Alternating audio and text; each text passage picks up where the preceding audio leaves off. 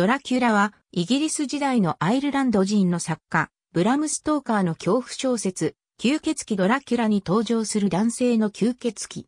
日本では吸血鬼の意味で誤用されることが多いが、あくまでも小説の登場人物の固有名詞であり、吸血鬼全般をドラキュラと呼ぶのは間違いで、吸血鬼を表す英語はヴァンパイアである。もっとも、特に日本では間違いとはいえ、代名詞的な意味で似た設定の貴族的な吸血鬼キャラクターをドラキュラと呼ぶ観光がかなり通用しており、代表的な例として、岸田森が2本の映画で演じた吸血鬼などがある。ドラキュラはルーマニア語で、竜の息子を意味する。小説執筆時は、フッシャという題名だった。ブラド・ツェペシュ公、ドラキュラのモデルは15世紀のワラキア公ブラド3世とされているが、設定として使われているのは、ドラキュラというブラドのニックネームと、出身地が現在のルーマニアという点だけである。ストーカーは終生アイルランドから出ることはなかったが、この地域について地図や文献でよく調査している。なお、ブラド3世がドラキュラと呼ばれ、また自称もしていたのは事実である。これは、ブラドの父がドラクルと呼ばれたことに起因する。ドラクルという語は悪魔を意味する場合もあり、後世ドラキュラ公の父ドラクル公は悪魔公とも呼ばれた。それに伴い、息子のブラド・ドラキュラ公も悪魔の子という意味でのドラキュラと解釈されるに至り、本作のドラキュラ伯爵のイメージに取り入れられている。だが、ドラクルという語の原理は竜であり、本来的にドラクル公は悪魔とあだ名されたわけではない。実際には父がドラクルと呼ばれたのはドラゴン騎士団に所属していたためであり、ブラド・ドラキュラ公も存命時は悪魔の子ではなく昇竜公とでも言うような意味で呼ばれていた。ブラムストーカー自筆のドラキュラのメモン原稿ストーカーがドラキュラ城のモデルとしたとされるルーマニアのブラン城小説中にはアイルランドの吸血鬼伝説及びドラキュラ以前に書かれた同じアイルランド人作家でトリニティカレッジの先輩であるシェリダン・レファニュのカーミラの影響が強く見られる。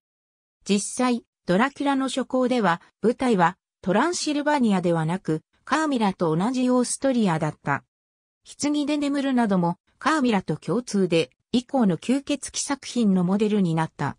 アメリカで上演されたドラキュラの舞台劇のポスター1920年代に原作者未亡人フローレンス・ストーカーから正式に版権を取得したハミルトン・リンによる戯曲が上演される。当時の舞台劇の主流は室内劇であり、舞台台本も原作を大幅に改変せざるを得ず、原作における冒頭のドラキュラ城のシークエンスをはじめとして原作の見せ場がことごとくカットされた。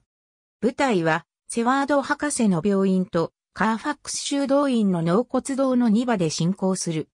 このため、ドラキュラ伯爵は上流階級の家に招かれるだけの容姿と礼儀作法を備えざるを得なくなり、黒の夜会服を着こなす気候自然としたイメージが確立された。この舞台ではドラキュラが観客に背を向けて一瞬にして消滅するイリュージョンの演出があり、そのために後頭部が隠れる大きな襟の立ったマントが必要だった。ドラキュラのマントの襟が立っているのはこの時の名残である。なお、マントの正確な着方は襟を寝かせるもの。このスタイルを初めて映像化したのが魔人ドラキュラである。映画では、ベラルゴ氏の後、ロン・チェーニー・ジュニア、ジョン・キャラダインが、戦後は、英国ハマーフィルムプロダクションのシリーズで、クリストファー・リーがドラキュラを演じている。ことに、クリストファー・リーは、ドラキュラ映画初のカラー作品、吸血鬼ドラキュラでネーモーなドラキュラを殺伐と演じて、大好評を博し、それまで不動と思われたルゴシドラキュラのイメージを塗り替えるに至り、半世紀経過した現在でも語り継がれる当たり役となった。リーがドラキュラ役を退いて以降、主だったところでは、フランク・ランジェラ、ゲイリー・オールドマン、リチャード・ロックスバーグ、ルーク・エヴァンズといった面々がドラキュラを演じている。特にエヴァンズは映画ドラキュラゼロにおいて、それまでの作品とは一線を画する中世、トランシルバニア時代のドラキュラを演じている。日本では岡田真澄、岸田森がドラキュラを演じている。魔人ドラキュラ、1931年にてドラキュラに扮するベラルゴ氏。原作小説では、背の高い、痩せた男、燃えるような赤い目という印象で繰り返し描かれる。登場当初は白髪の老人で中盤から血を吸って若返り黒髪になる。和紙を思わせる精悍な顔つきでピンと尖った口ひげを蓄え、青白い肌とは不釣り合いに赤い唇に尖った剣士が覗いている。では一見するときめ細かいがよく見たらゴツゴツしていて、手のひらの中央に毛が生えており、爪を尖った形に切り揃えているといった要望。服装は黒ずくめであるという他は特に記述されていない。対して性格や趣味思考は細かく描写されている。登場当初こそ物腰穏やかな老紳士といった風を装っているが、次第に傲岸で名門な本性をあらわわにしていく。他者に侮られるのは我慢がならず、追い詰められても虚勢を張るなどプライドが高い。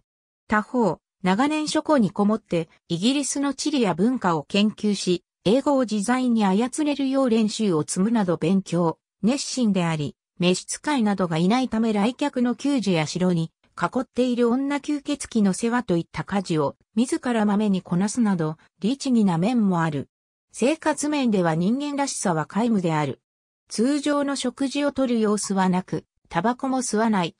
実質に家具はなく荒れるに任されており、金貨やわずかな身だしなみ品といった人間社会に紛れ込む上で必要最低限のものしか所持していない。吸血鬼としての性質もまた細かく描写されている。血を吸ったり、自らの血を分け与えたものを吸血鬼に変える。また、催眠術のような力で自分に惹かれる性質のものに遠方から影響を与えることができる。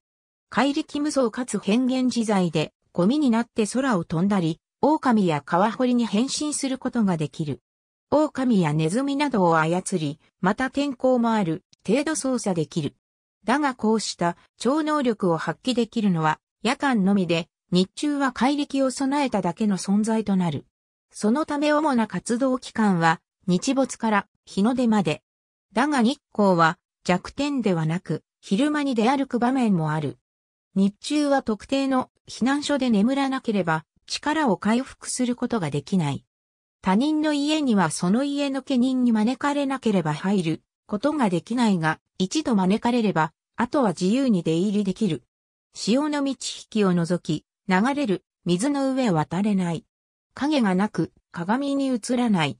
十字架をはじめとする神の息のかかっているものと、ニンニクを忌避する。